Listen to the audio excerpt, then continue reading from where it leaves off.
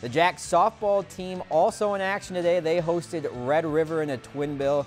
Game one, BHS jumps out in the first. Grace Nag to the wall in the left. That scores a pair there on the board first. Later in the inning, ball gets past the backstop. Yvette Morgan is safely in. That adds to their lead. Then Ellie Hansen puts one in play. A sac fly to center. That will score another. Another sweep for Bemidji team. They beat Red River 4-1 and 11-5 in the second. If you've enjoyed this segment of Lakeland News, please consider making a tax-deductible contribution to Lakeland Public Television.